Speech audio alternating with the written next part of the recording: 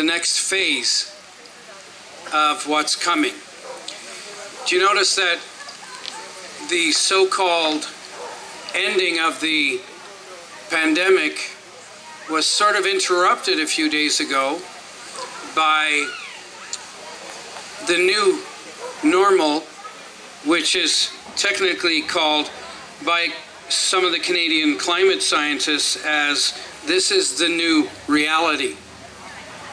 If you've uh, listened to the news and watched what happened in Lytton two weeks prior to the heat wave that we suffered, I was told that there's going to be a heat dome coming up into your area. Well, almost like clockwork, a blip on windy.com. I don't know if you follow weather patterns, but there was a heat dome over Oregon, Washington, British Columbia that appeared very early in the morning and in the evening absolutely disappeared and everything went back to normal like almost instantly. It happened for about two or three days and then all of a sudden it, uh, it stayed. And that's what you experienced in the last week. Trust me, if I say this, everything that's happening with the weather is not real. The new reality is climate change. If you've listened to Klaus Schwab, if you've listened to the global elite, and now your politicians, what they're going to do is they're going to replace the entire um, pandemic force with a climate change force. They're, instead of having Bonnie Henry, the health advisor to the public, they're going to have a clim climate change scientist. And if you've listened to the news at all, you're seeing the same format starting to continue into another phase, which is climate change. Now, Lytton, for three days, had the highest temperatures in Canada, and what happened?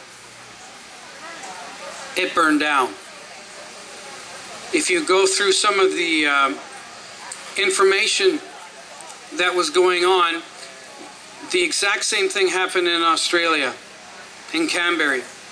In Canberra, I forgot the name of it. The exact same thing happened in um, California.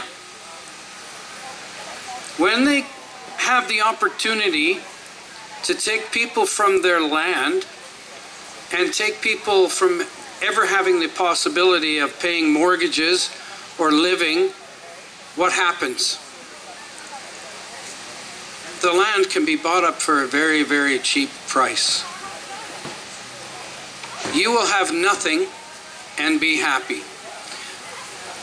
They want to make sure that under their circumstances, you're pushed out of rural areas and brought into city squares. Why do you think that banksters like Citadel, Goldman Sachs, who are, who are using your pension funds, using your RRSPs and what money you may have in the bank to buy properties in city centers to turn into rental properties to push you out of rural areas. And now this exact same thing right now is happening. And it's only starting. So you have to be cognizant of what's actually going on. This is the new phase. This is what's going to happen. And I do have some challenges for you to think about uh, moving ahead. First of all, when it came to the pandemic, the the globalists need your permission. Which means that if they can convince you through the media to wear a mask, to get a vaccine, and most of society is compliant, they will then institute their authority. But they need your permission.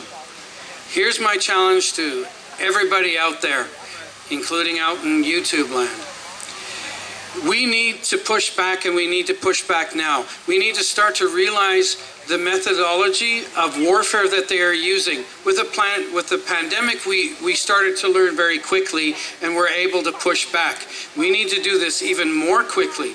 We need people who are deep divers, who are white hats, who are organized, who understand how things like um, the weather modification um, works, how the, the laser technology works, because what they do is they have high elevation planes that were lasering um, areas in California.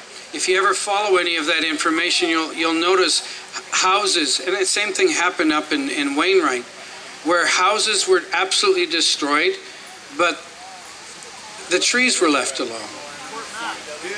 You know, Fort Mac, thank you. So be aware. Start the study now so that you can fight this new fight. Things aren't going to stop with the, the pandemic, but you need to become warriors concerning your knowledge uh, with weather modification. And you need to fight back because this is going to be our next level. And that's why, you know, I'm asking that you be the warriors that you are. Hi, this is uh, JD with Indigenous POV. Um, we're here about a few kilometers before Lytton. We were coming with uh, drone and cameras and stuff to try to get some kind of footage. They won't let us pass because they say there's still things on fire. There are helicopters in the area dropping water uh, on the area. We've got a lot of questions. There was a train that was verified to us that uh, was on fire with logs that went from all the way from Lytton uh, and was actually stopped by the uh, fire department in Boston Bar. And that train, uh, the fire on the train was put out. It wasn't sparks from the wheels or anything. It was actually on fire. Interesting to note that, you know, when something like that's on fire, it's a, basically a miracle that nothing else caught on the way. Uh, we're asking a lot of questions and we are trying to come up with some answers of what is actually going on. So when we find out more information, we will pass it on to you.